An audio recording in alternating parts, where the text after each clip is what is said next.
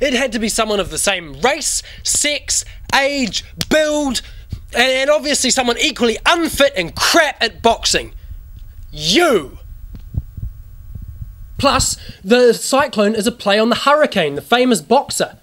The Hurricanes are your favourite Super 12 team. Everyone knows you're a big fan. I actually thought it would be Carol.